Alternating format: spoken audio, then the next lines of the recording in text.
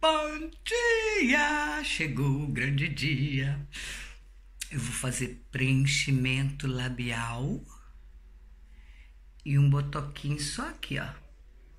Só nesse vinquinho que tem aqui, ó. Pensa numa pessoa ansiosa. Agora são nove horas da manhã. Eu quase não consegui dormir. Eu fui dormir mais de duas horas da manhã.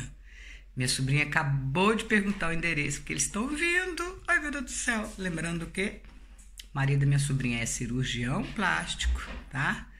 Um ótimo cirurgião plástico. Ele faz isso todo santo dia da vida dele. E eu quero fazer só para provar. Eu quero ver como é que eu vou ficar de lábio grosso, porque eu passei 50 e, quase 50 anos da minha vida acreditando que eu tinha boca pequena e aqui no YouTube assistindo meus próprios vídeos, eu descobri que eu não tenho boca pequena. O que eu tenho é lábio fino. São duas coisas diferentes. Vamos tomar um cafezinho? Eu vou mostrar tudo para vocês. Não posso mostrar fazendo o procedimento, mas vou fazer antes e durante neste vídeo ainda, tá? Fica aí que você vai me ver. Claro que no primeiro dia eu já sei, né? Porque eu vejo quando a Luana faz que fica inchado e tal, a gente vai ver o resultado mesmo uns dois, um dia, dois dias depois. Mas dá pra ter uma noção? Vamos tomar um café. Ai, gente, esqueci meu robozinho na Alemanha, quando eu fui lá na Europa Park, tá fazendo uma falta. Vou esperar a Camila ir lá para trazer para mim meu robozinho. Tcharam! Olha. Não deu para gravar, tá, gente? Não pode. O YouTube não aceita, mas ó. Tá bem inchado. E eu tô aqui, ó, com a compressinha de gelo, que eu vou começar a fazer a compressinha de gelo. Mas pode? Eu vou mostrando aí pra vocês, tá? Passar das horas. Agora tá com Acho que tá com umas 5 horas, mais ou menos, que eu fiz. Vou fazer a compressinha. Inchou bastante, tá bem inchado, ó. Tá bem, bem, bem mais inchado do que nas três primeiras horas, assim.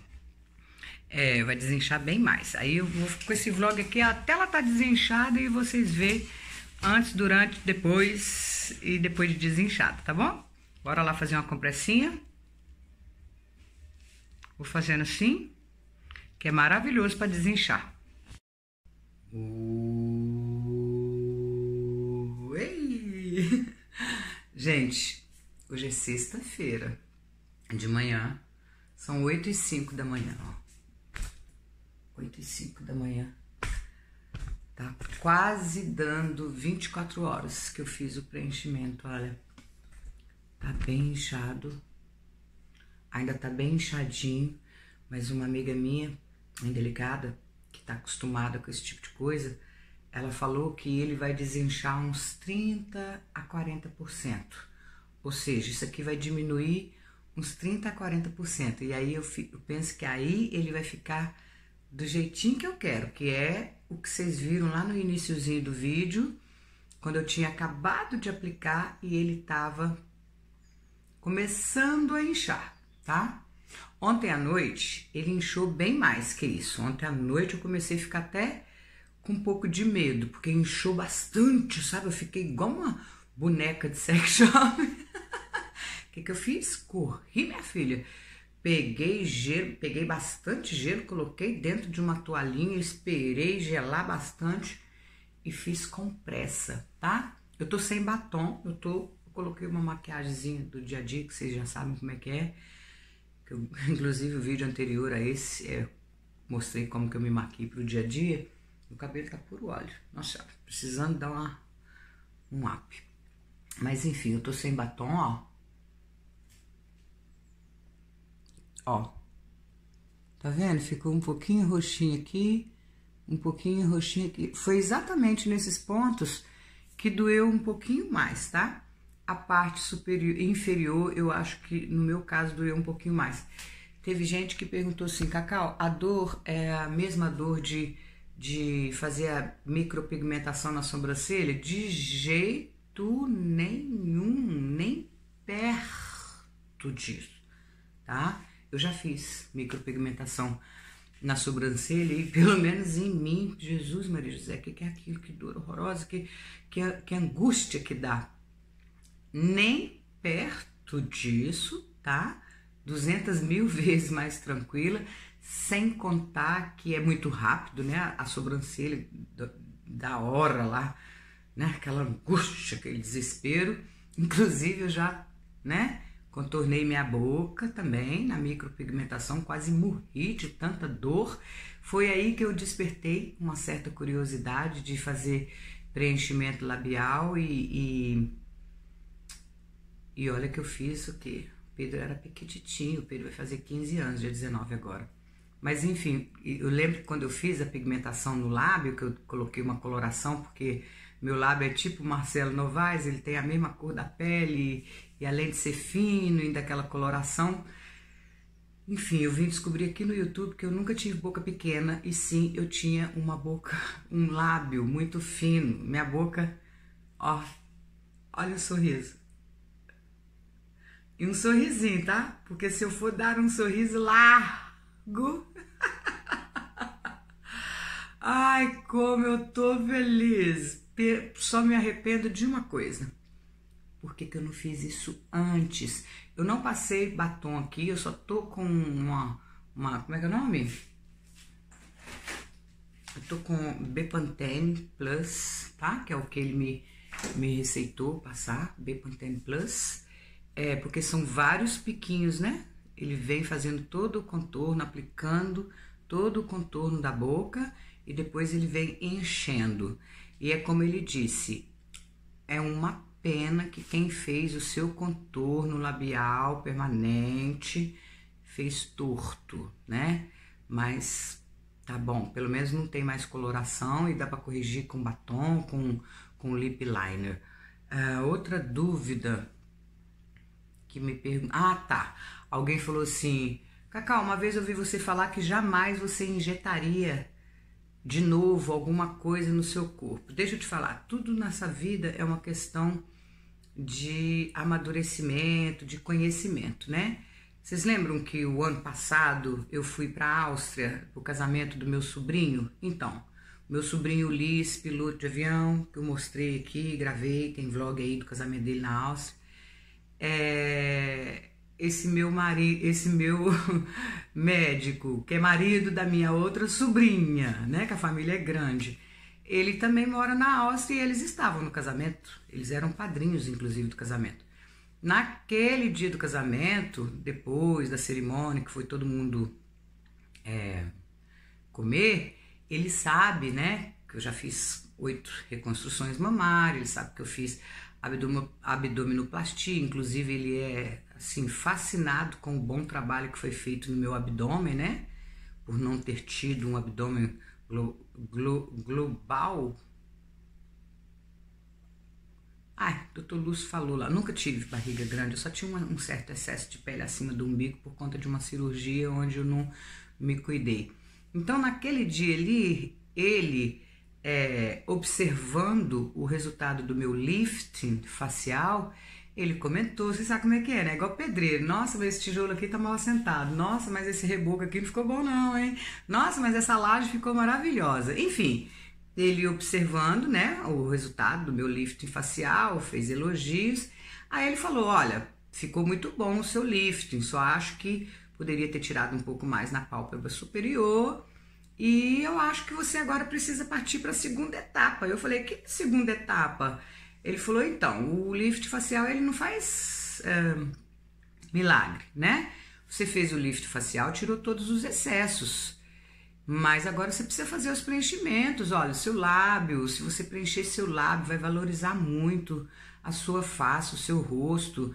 Você precisa um botoxinho aqui, aí ele falou, né, disso aqui, porque o meu lift facial não foi mexido na testa, tá? O meu lift facial, ele é daqui até aqui. Foi mexido essa região aqui, a musculatura foi toda reposta no seu lugar, o, o, o, o pescoço, que já estava muito cheio de pele, o doutor Lúcio tirou, mas enfim, aí ele me explicou que eu precisava fazer a segunda etapa, que seria os preenchimentos, inclusive do lábio, E eu falei: ah, não, eu tenho medo. Ele me explicou que o lift facial não repõe a gordura do corpo, né, do rosto, que por mais que reponha o músculo mais ou menos no lugar, mas tem a gordura também, que ao longo do tempo a gente vai perdendo a, a gordura, né, do, do, do, do rosto e que isso a gente repõe com preenchimento. Eu falei: ah, não, Alexandre, eu não quero fazer preenchimento, eu tenho trauma. Eu contei para ele dos meus traumas. Ele falou: não, é super seguro, não tem, pode ficar tranquila, não corre o mínimo risco de, de acontecer isso de novo na sua vida. O dia que eu for à Suíça, eu faço os seus preenchimentos. Ou o dia que você voltar na Áustria, eu faço, se você quiser. Eu falei, ah, será que eu vou ter coragem? Aí ele falou, eu te indico. Ele até comentou que ele não indica muito hialurônico, esse povo aí que é muito viciado, que reaplica a cada dois, três meses. Ele acha que ao longo do tempo causa uma certa flacidez e que se a pessoa resolver parar de aplicar, vai ficar com a face flácida. O lábio pode ficar com o código de barra, né? Porque é algo que você está enchendo ali. Então, se de repente você resolve parar de encher, é igual um balão. Você pega um balão que nunca foi cheio, ele tá lá, né? Murchinho, mas tá lá, tudo certinho. Se você assopra e enche aquele balão, deixa ele de um dia para o outro é, cheio e depois você desamarra e solta ele, ele murcha todinho, só que ele não tem mais a mesma aparência lisinha.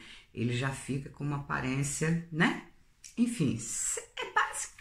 Eu sei que é um exemplo assim meio esquisito, esquisito, né? Eu não passei batom, porque eu tô evitando, tá? Passar batom porque ainda tá muito inchado.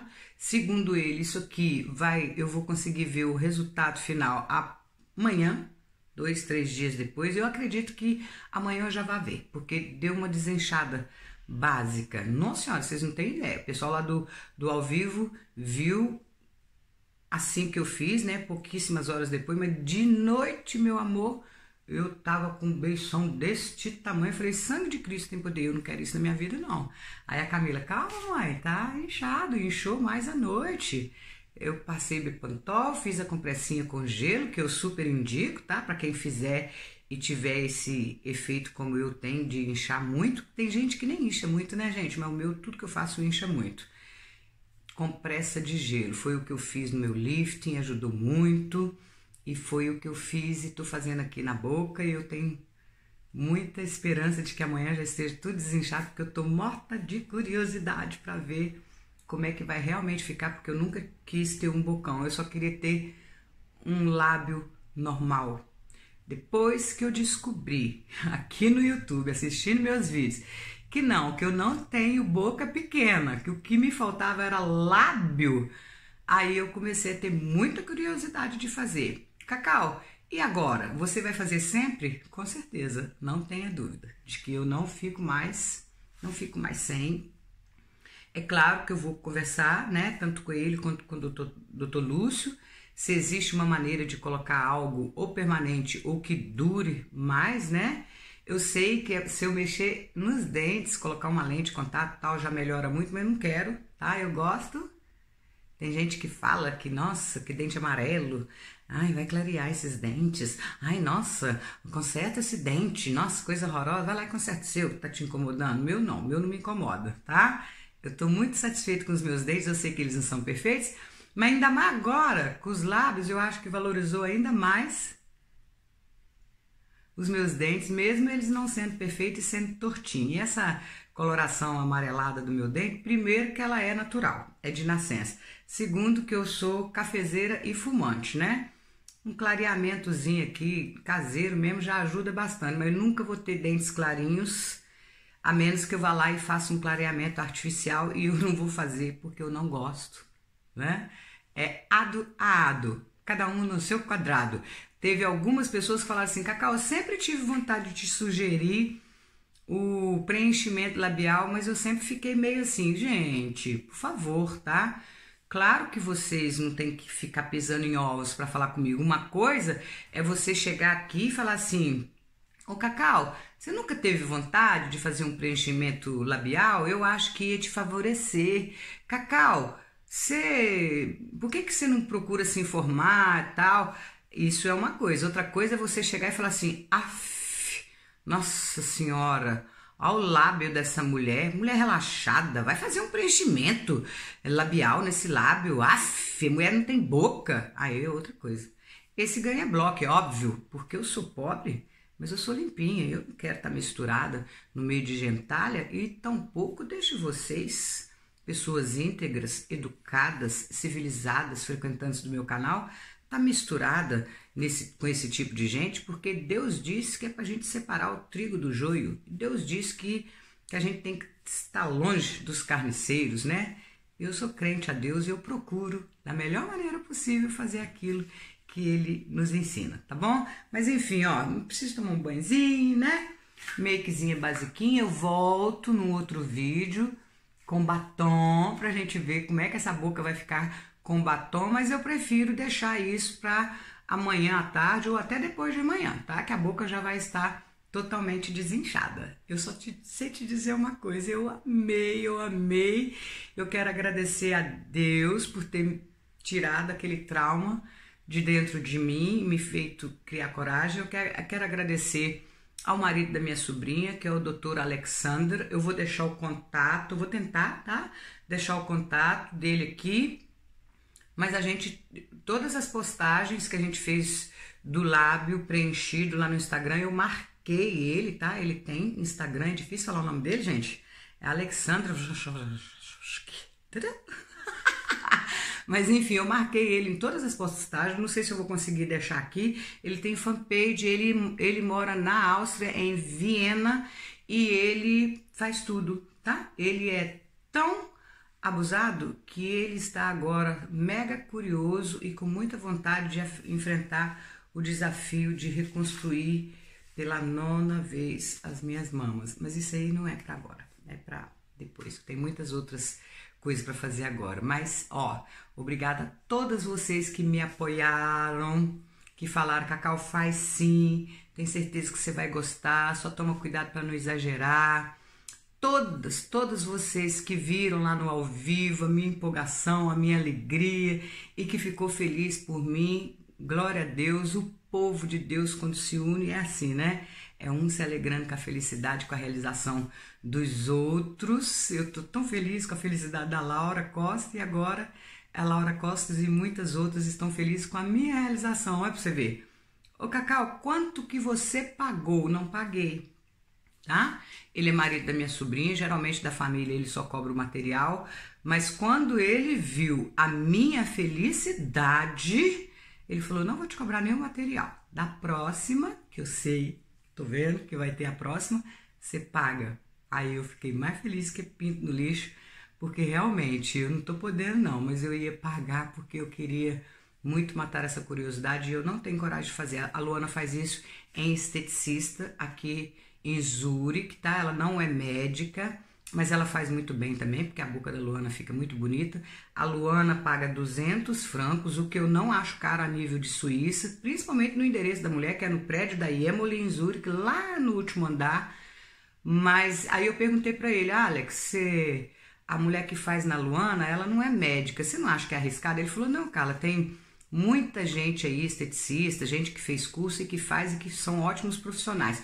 O problema e o risco de você fazer isso com alguém que não é médico é que enquanto tá dando tudo certo, tá tudo certo, mas se um dia der algum problema, eles não vão saber como agir. E aí é que mora o perigo, né? Então eu prefiro fazer com médico, seja com ele aqui na Europa, com o Dr. Lúcio lá no Brasil, mas eu prefiro fazer com médico, tá bom? Ó, conta aqui para mim nos comentários o que, que você achou. Eu volto depois, agora eu vou tomar um cafezinho, começar a cuidar da minha casa. A Nina tá aqui, dormiu com a vovó, para os pais descansar um pouquinho. Vou tomar meu cafezinho, vou namorar mais um pouquinho minha boquinha, porque desde ontem eu não faço outra coisa que não cuidar da Nina e olhar no espelho. Estou mais feliz que pinto no lixo. Obrigada, viu, gente, pelo apoio que vocês me deram. Porque se não fosse o incentivo de vocês, talvez eu não tivesse criado essa coragem, tá?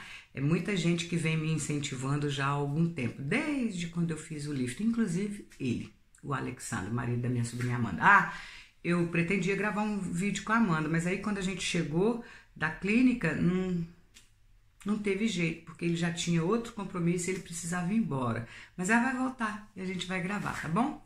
Hum. Joinha, você que gostou.